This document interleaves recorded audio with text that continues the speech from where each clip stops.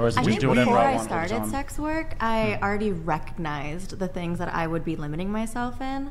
And I think if you're going to start in that industry, you have to be honest with yourself and comfortable with that because in our society, it is very um, frowned upon. For what?